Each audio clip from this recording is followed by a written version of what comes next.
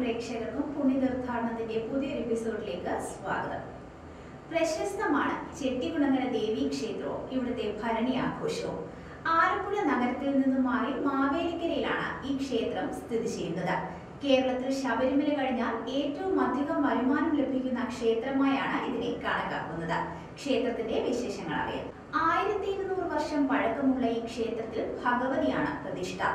ആദിശങ്കരന്റെ ശിഷ്യനായ പത്മപാദ ആചാര്യനാണ് ഈ ക്ഷേത്രം നിർമ്മിച്ചതെന്നാണ് കരുതപ്പെടുന്നത്.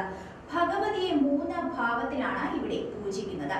പ്രഭാതത്തിൽ മഹാസരസ്വതിയായും ഉച്ചയ്ക്ക് മഹാലക്ഷ്മിയായും വൈകുന്നേരത്തോടെ ശ്രീദുർഗയായും ദേവി മാറുമെന്നാണ് വിശ്വസിക്കപ്പെടുന്നത്. മരം കൊണ്ടുള്ള വിഗ്രഹമാണിവിടെ. അതുകൊണ്ട് തന്നെ ചാന്താട്ടം ഇവിടുത്തെ പ്രധാന ചടങ്ങാണ്.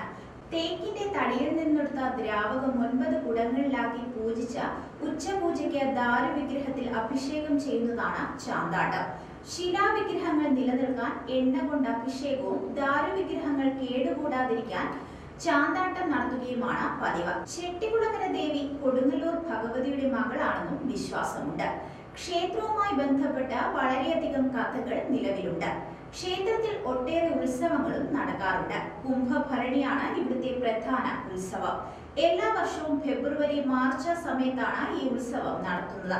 കുത്തിയോട്ടമാണ് ക്ഷേത്രത്തിലെ പ്രധാനപ്പെട്ട വഴിപാട്.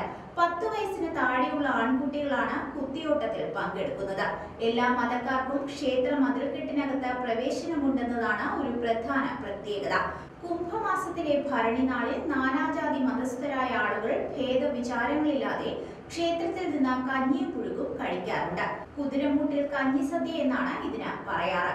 കുംഭഭരണി കൂടാതെ മീനത്തിലെ അശ്വതി നാളിലും ഇവിടുത്തെ കെട്ടുകാഴ്ച നടക്കും. കുട്ടികളുടെ കെട്ടുകാഴ്ച എന്നാണ് ഇത് അറിയപ്പെടുന്നത്. കൊടുങ്ങല്ലൂരിൽ നിന്നും പുതുപ്പുരയ്ക്കൽ ഉണ്ണിത്താനും കൈതതെക്ക മങ്ങാട്ടച്ചനും ചെമ്പൂരിൽ താങ്കളും കൊടുങ്ങല്ലൂരിൽ ഭജനയിരുന്ന ദേവിയെ ചെട്ടിക്കുളങ്ങിലേക്ക് ആവാഹിച്ചു കൊണ്ടുവന്നു എന്നതാണ് കഥ. അശ്വതി നാളിലെ കെട്ടുകാഴ്ച നടന്നാൽ മീനഭരണി ദിവസം ഇവിടെ നട തുറക്കാറില്ല. ഭഗവതി കൊടുങ്ങല്ലൂരിലേക്ക് പോകുന്നുവെന്നാണ് സങ്കല്പം. ക്ഷേത്രത്തിന് മുന്നിൽ പതിമൂന്ന് തട്ടുള്ള ആൽവിളക്കുണ്ട്. ആയിരത്തിയൊന്ന് തീകൾ കത്തിക്കാനുള്ള ഈ വിളക്കിന്റെ തട്ടുകൾ പതിമൂന്ന് കരകളെ പ്രതിനിധീകരിക്കുന്നു. ഇത് ഒരു ബുദ്ധ ക്ഷേത്രമായിരുന്നു എന്നൊരു വാദഗതിയുണ്ട്.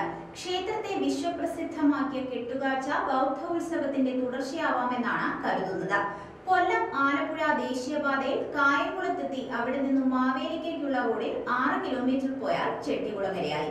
മറ്റൊരു പുണ്യക്ഷേത്രത്തിന്റെ വിശേഷങ്ങളുമായി അടുത്ത എപ്പിസോഡിൽ കാണാം. അതുവരെ നന്ദി നമസ്കാരം.